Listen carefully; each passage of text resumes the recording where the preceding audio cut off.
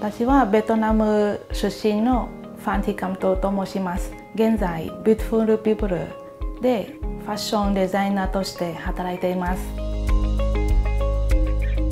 日本に興味を持ったきっかけは日本のアパレルの業界のものづくりの職人さんたちとあの有名なデザイナーさんたちも憧れていて勉強しに行きたかったです。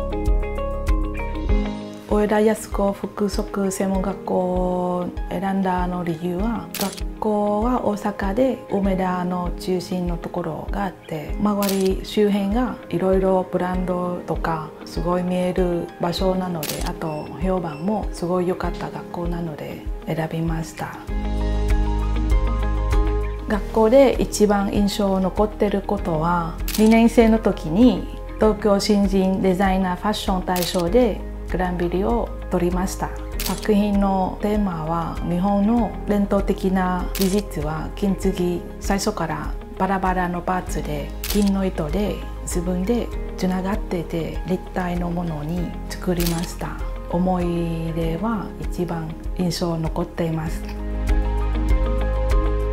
この会社を知ったきっかけはもともと自分の好きなブランドの一つなので時々あのインスタとか見ていてちょうど募集している時期があって一回チャレンジしたかったのでポートフォリオとか自分で送りました。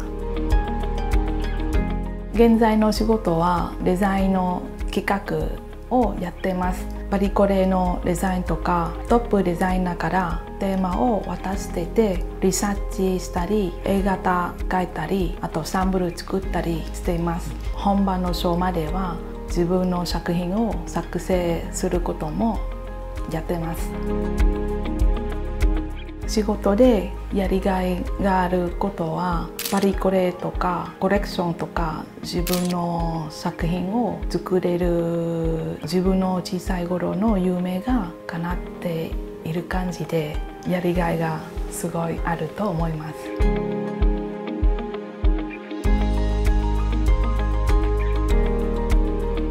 有限会社 entertainment beautiful people の企画生産長をしております米民生と申します beautiful people というブランドで、えメンズレディースデザイン洋服をお売りしています、え外国人雇用はですね、まあ、ビジネス的にもあのワールドワイドにやってますので今回のトゥーさんみたいにやっぱりデザインスキルがある外国人だったら日本人じゃなく視野を広く募集をかけておりますし日本語のスキルさえちゃんとあれば問題ないと思います。トゥーさんが今回パリコレに出すやつであのパラシュートっていうのがありまして結構あのパーツ数が多くてですね縫製を外に出そうとしてサンプレさんにお願いしようと思ったらコストもかかるのでで僕は冗談で「これトゥーさんの仕事だけど大丈夫?」っつって言うとトゥーさんは「あできます」っつって一言で言ってきたんでそれをきっちりこう自分で作ったものをみんな見るとみんなはもうさすがだっていうところが良かったなと思ったエピソードですね。今日本も外国人なしでは生活もねなくてはならないようになってると思うんですね、まあ、上田安学食専門学校に限らずいろんな学校に入ってもらうのも OK なので日本に来てもらって学んで就職するっていうことを日本のためにも願ってます